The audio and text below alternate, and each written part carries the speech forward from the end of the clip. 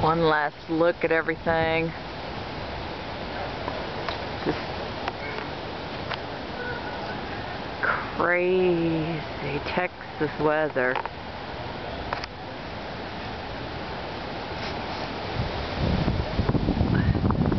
Woo! It's kind of slick back here.